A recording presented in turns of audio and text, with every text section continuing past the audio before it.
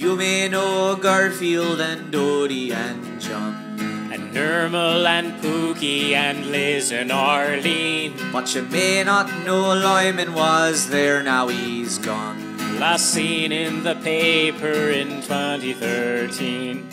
He was Jon's roommate for the first few years. Also the one to whom Odie belonged.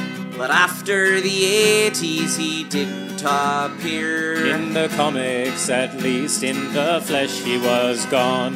So now you're a dog living with a replacement. A smile on your face, but you're pain and can't face it. No one says his name disappeared with no trace, and your creator jokes that he's chained in the basement. Odie dee, Odie died, Odie's dear. Odie steer.